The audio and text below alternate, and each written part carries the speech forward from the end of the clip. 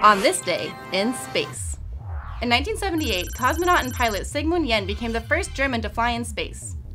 Jähn was an experienced pilot for the East German Air Force and studied at the Gagarin Air Force Academy in the Soviet Union in the 1960s. In 1976, he and one other German pilot were selected for the Interkosmos program, which was designed to help the Soviet Union's allies with space missions. Jähn joined three Soviet cosmonauts on the Soyuz 31 mission to the Salyut 6 space station, where he took photos of the Earth using a new multispectral camera. He also conducted experiments in biology, physics, and material science. After almost eight days in space, he safely returned to Earth. And that's what happened on this day in space.